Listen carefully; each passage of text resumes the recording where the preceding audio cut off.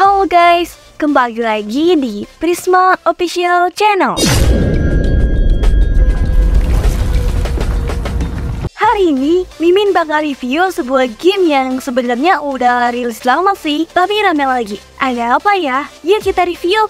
Kabar gembira buat pecinta GTA sekaligus pecinta film dan seri drama dari Netflix. Netflix resmi meluncurkan game trilogi Grand Theft Auto GTA The Definitive Edition yang mencakup tiga game GTA edisi San Andreas, Vice City, hingga GTA 3. Rockstar, pelaku pengembang game GTA, merilis edisi definitif ini untuk meningkatkan kualitas permainan yang mencakup mode classic lighting. Nah, pelanggan Netflix sudah bisa memainkan game GTA tersebut langsung dari dalam aplikasi. Cara memainkan game GTA ini cukup membayar biaya langganan Netflix yang berkisar Rp60.000. Selain bisa memainkan GTA, pelanggan Netflix juga bisa memainkan game-game seru lainnya. Sementara untuk pengguna yang tidak berlangganan Netflix, jangan khawatir. Kalian bisa memainkan trilogi GTA Definitive Edition ini dengan mengunduh langsung game dari toko aplikasi iOS untuk Apple maupun Google Play Store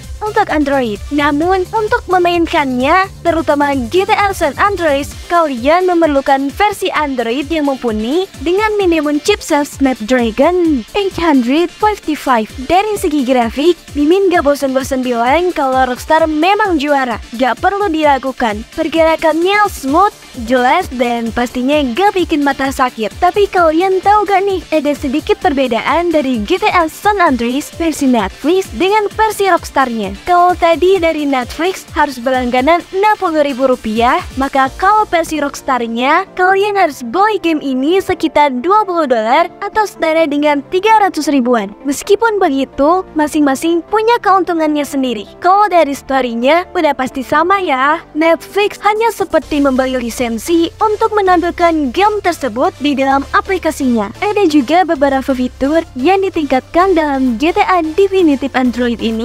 Beberapa di antaranya adalah peningkatan resolusi dan detail karakter, penyesuaian grafis, kontrol layar yang meningkat, pembaruan menu, musik, juga audio, dan memiliki pencahayaan yang diperbarui dengan classic lighting yang akan membuat kalian bernostalgia seperti pada saat memainkannya di PS2. Tapi jika classic lightingnya kalian matikan, maka seluruh gamenya akan mirip dengan GTA San Andreas yang ada di PC. Mimin yakin pasti kalian para pecinta game GTA bakal download ini kan? Kira-kira kalian mau main versi yang mana nih? Ya walaupun tentu saja GTA San Andreas tidak akan pernah mengecewakan pemainnya di versi mana pun. Nah guys, segitu aja review yang bisa Mimin sampaikan hari ini. Kalau menurut kalian ada yang kurang, boleh banget tambahin di bawah ya. Jangan lupa tinggalkan like-nya kalau kalian suka sama video ini. Dan subscribe juga kalau kalian mau tahu review-review menarik dari game lainnya. Thanks for watching, until the next time, bye!